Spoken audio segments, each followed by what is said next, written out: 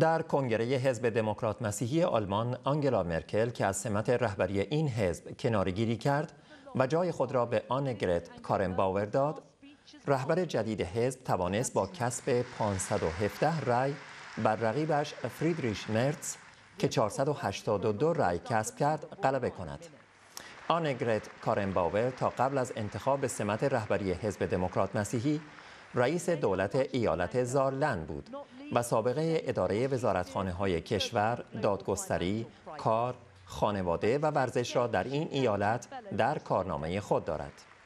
آنگلا مرکل که از سال 2000 تا کنون رهبری حزب دموکرات مسیحی را بر عهده داشت، طی سخنانی از اعضای این حزب خواست تا از ارزش‌های دموکراسی و مسیحیت دفاع کنند.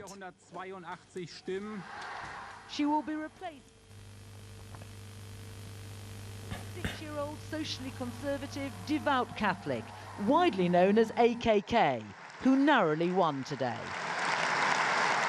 She was Merkel's anointed successor, unkindly dubbed Mini Mutti. She'll have to fight hard to establish her own identity when Merkel finally stands aside as Chancellor in 2021.